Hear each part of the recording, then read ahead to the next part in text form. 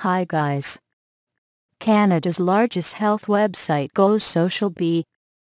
Case solution and analysis.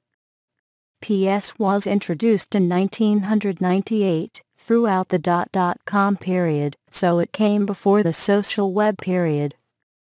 PS had actually been Canada's largest customer health-related website considering that 2001. However Charmian Harvey, its CEO, recognized the website had to adjust if it was to stay effective in today's Web 2.0 atmosphere, where social media guidelines. She understood that social functions would be main to the website's tactical advancement, so the case focuses on reviewing PS's existing social functions with those used by rivals. Thanks for watching this video.